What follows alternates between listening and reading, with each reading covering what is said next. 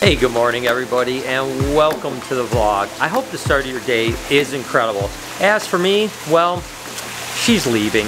I absolutely love this snake right here. Of course, this is Bredlo the Dumeril's boa. These guys are from Madagascar, and they're just a cool animal. Again, about the size of a common boa. You know, this one here is a full-grown adult, and it's, you know, maybe six foot. A big female might get seven or eight foot. But, uh, so they're similar size, but to me, they're just even better animals. I mean, they're just so. It's such amazing animals. And I'll tell you a story. When I was like 17, 18 years old, I bred these for the very first time. And there was only a handful of people in the entire country that had ever successfully produced Dumeril's boas. So it was a huge accomplishment for me. And it was one of the things that started to grow my confidence a lot when it came to breeding snakes when I was just a teenager. And you know, speaking of teenagers, you guys may know that uh, Lori and I have been together since we were teenagers and you guys see me on the vlog, you see me doing all this stuff, but anyone that really knows what happens at BHB or even at the Reptarium realizes that Lori is really the boss. I mean, you know, yeah, I'm the idea guy, I'm the passion animal guy, certainly I work with animals tremendously well, but when it comes to actually the day-to-day -day grind of making sure everything gets done,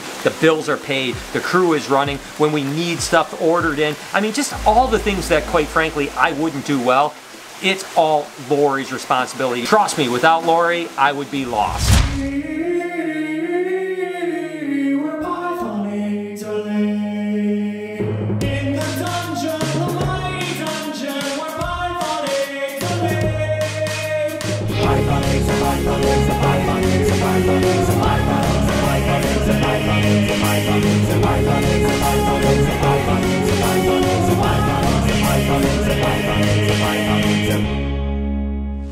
Guys, that is the last time you're gonna hear the In the Dungeon song this year. Officially last ball python clutch of the year. This is just a normal ball python, a really pretty dark normal ball python. And it was actually bred to a Pastavi Orange Dream. And I tell you what guys, it looks like we have another beautiful clutch. What a way to end the year. Sometimes that last clutch of the year is just completely infertile because this girl hasn't been bred in probably four months. So she retained sperm, looked really good. I wasn't even 100% sure she was gravid for a while. I was like, I don't know if she's even gonna lay, but look at that. Good job, mom. What a beautiful clutch eggs. And again, again, look at how dark she is, a sooty animal. So I'm hoping there's something genetic there for sure. So we're just gonna pull this one egg out, put this egg over here, and then we'll get the rest of the clutch up here. Let's go. God, mom's being really well behaved.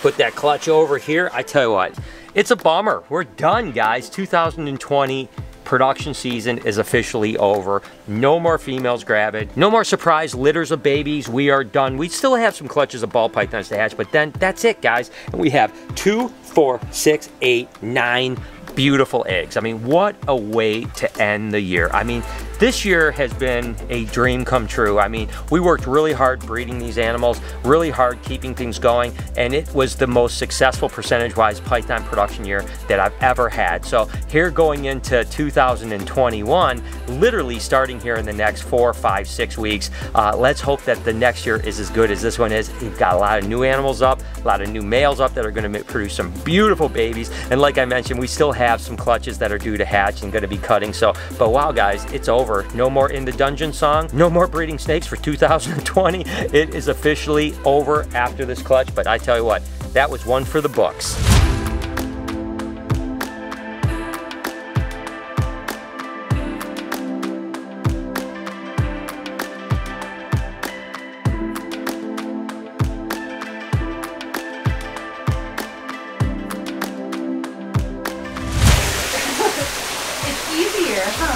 So Lori, are you really leaving me? Who told you? Are you gone? It was supposed You're to be a surprise. When, yeah. Are you ever coming back? I don't know yet. you don't know yet? I'll miss you. Do you think that'll be okay by myself? Oh yeah, you'll be fine. Oh my gosh. You've got I've got a big list of things you need to do while I'm gone. While you're gone. Take okay, so you are coming back then. Because if you left a list, then that means that you're coming back to check up on me.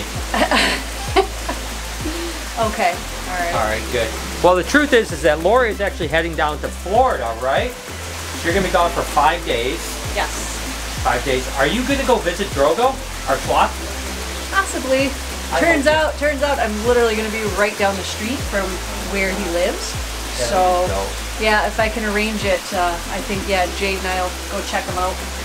Well, I'm, I'm worried. Do you think the place will still be here when you come back? Because I don't know if I can operate this place without you for five days. Well, I feel like you need to learn. I don't know.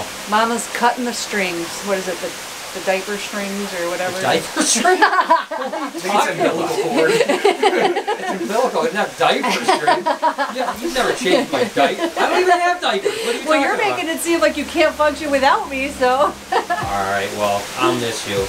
Have fun. I'll miss you too. Guess what, guys? I'm pretty excited about this. New merch has dropped. That is right. We've got some salt and pepper. We've got, uh, you know, listen, not just gray. We've got this as well. We've got blue as well. And if you're not into the salt and pepper thing, which I mean, who isn't? But uh, guess what? We've also got Diddy and Dixie because they are the cutest lizards on the planet. So again, you can get some shirts in different colors. Also, you know, it's fall time. So there's hoodies. You can buy hoodies. That is pretty cool. And by the way, we also have this. That's right. We have salt and pepper coffee mugs for you guys to start your day, as well as Diddy and Dixie ones. Isn't that absolutely incredible? Oh, and if you're not into shirts, you're not into hoodies, you're not into coffee cups, whatever the case is, guess what else we have? We actually have stickers. We have salt and pepper and Diddy and Dixie stickers. That's right, you can get yours, whatever you guys want, right down here. Link in the description. You guys got to get you some. This merch won't last forever, only a short period of time, so get you some now. Let me know in the comments if you picked it up. I really do appreciate your support. Had that het albino to albino ball python clutch hatch out, and I love hatching albino ball pythons. Again, this is a recessive mutation, meaning that when you breed an albino to a heterozygous like we did here, approximately 50% of the babies should come out albino and 50% of the babies will come out normal but are carrying the trait for albino called heterozygous, right? So in this case, we produced a little bit less albinos than hets, but we did pretty good. We did one, two, three, four albinos and five heterozygous animals. And nevertheless, look at how absolutely gorgeous these albinos are. They all look perfect. All their eyes are great. No issues at all with them, which is really cool. I remember the first albinos were a little bit weak. Now they're strong as could be, and it's always amazing hatching albino ball python.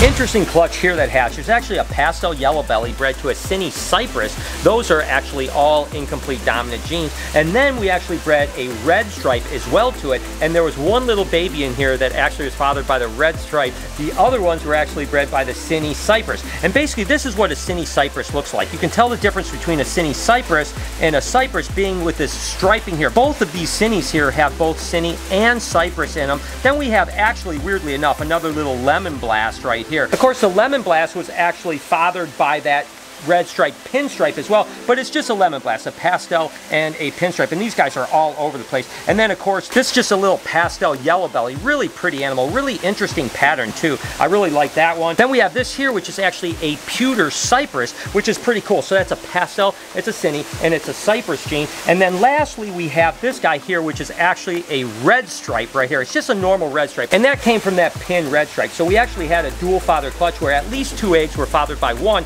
and the rest were fathered by the other, and there's a bunch of really cool babies in here. Well, the continued wait for Lilith, the frill dragon to lay her eggs, uh, is on, and she looks a little thin today. I'm going to be totally honest with you. I'm not sure if she's going to lay this year or not. She looked fat. She looked like she's going to. Now she looks thin. I'm going to go on an egg hunt. Hopefully I'll find it. They're acting weird this morning. Definitely Nova is kind of like uh, wanting to run away from something, which is unlike him for sure. You okay, buddy? So I'm just going to see if I can't, you know, maybe Lilith lay. Let's see what she's at. She's down beneath her lay box right now. So I'm actually going to go this way. And I just can't tell. I can't tell if she's thin or not. You know, see, this is the thing. She may or may not even have laid. She may have reabsorbed eggs because she looks a little bit thin, but not super thin. But she's definitely been acting weird, running around and stuff like that. So I don't know. Let's just get, go ahead and search and see if we can find something. I'm going to put her back up in her tree. I'm just searching over here for eggs first. To search all around the entire enclosure.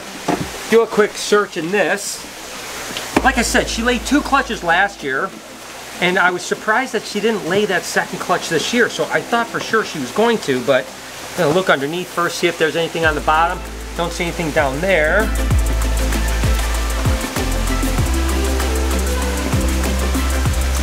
I don't see any eggs in here yet. Nope, I don't see any eggs in here. What I'm gonna do is I'm just gonna search the rest of the enclosure just to see if she could have laid it somewhere else. And if she didn't, then I think that the year is going to be over. I think that there's no chance that she's going to have eggs.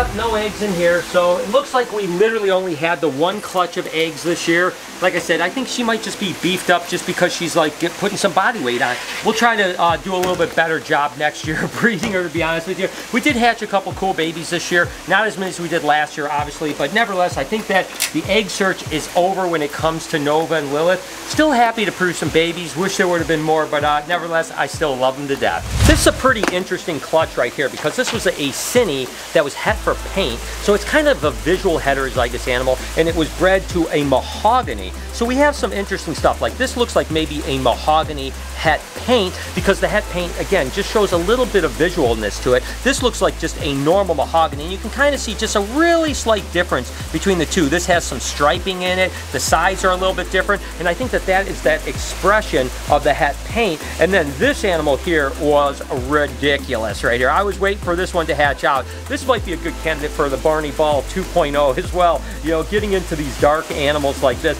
And this is a Cine, it's a mahogany, and it's definitely a het paint because you can see the striping on it, you can see the wackiness of the side patterns. So again, that het paint is a visual heterozygous. The super paint is super, super cool. So uh, these guys are amazing, and I love this dark animal right here. It came out wicked. Pretty cool clutch right here that hatched out. Actually a pinstripe female bred to a bamboo silver streak Woma ball python. So a lot of stuff going on right here. And there's a lot of variety in here that's really cool too. This is literally just a black pewter. So this is a black pastel and a pastel. Then we actually have a pastel Woma black pastel. So that's kind of one more gene added to that. Then we just have a lemon blast here, another little lemon blast here. This is really, really pretty right here. This is actually just a pastel and it is a Woma, but it's a really beautiful, clean one. And then we have this monkey here that's pretty cool. This is actually a lemon blast bamboo ball python. Looks also to be a Woma ball python. So it looks like a pastel, a pinstripe, a Woma, and a bamboo.